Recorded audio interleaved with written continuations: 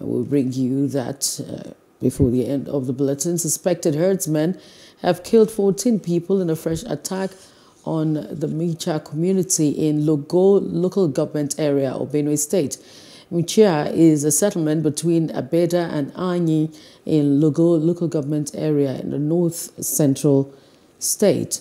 The special advisor to the governor on security matters, retired Colonel Paul Hemba, confirmed the attack to journalists after Security Council meeting. The villages that was attacked is Mchia village in Mbagbe Council Ward of uh, local, local government.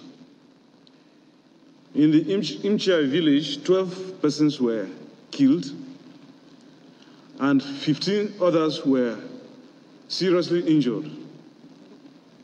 They were evacuated this morning to hospital where they are receiving treatment.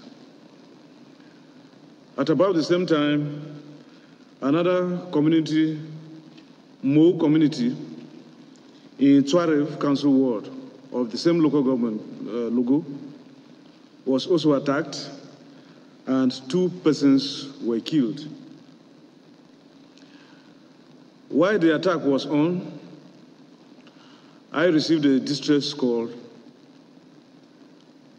from indigenous of the area, and uh, we quickly informed uh, the security agencies, uh, men of 72 Special Forces Battalion, Operation Whirl Stroke, the police, and the Nigerian Civil Defense Corps.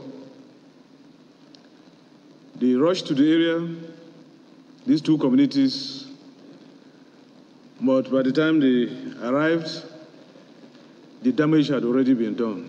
Hello, hope you enjoyed the news. Please do subscribe to our YouTube channel and don't forget to hit the notification button so you get notified about fresh news updates.